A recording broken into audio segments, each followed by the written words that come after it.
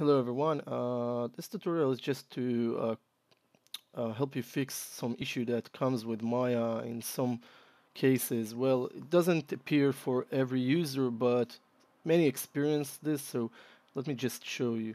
Um, whenever you open Maya, okay, I'm gonna open this. This is Maya 2016 SP3, and the NVIDIA driver has, um, you know, already uh, been updated, but still whenever you go and choose to open scene and let's say I will choose this well I will choose this one because I know that this is happening there. It will also open uh, append there in other files but just to demonstrate this.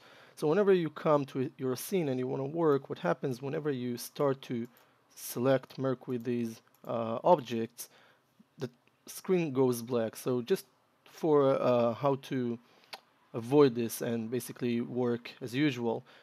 You want to go over quit Maya okay? And basically reopen Maya. So let's reopen this. Okay and the first thing you want to do is click and just drag a marquee selection on top of your new scene. And just then go file open scene take your file open it choose your file open it don't save and everything will act normal okay? So that's it. Thank you for watching. Hope it helps and have a good day. If it doesn't help uh, what can I say?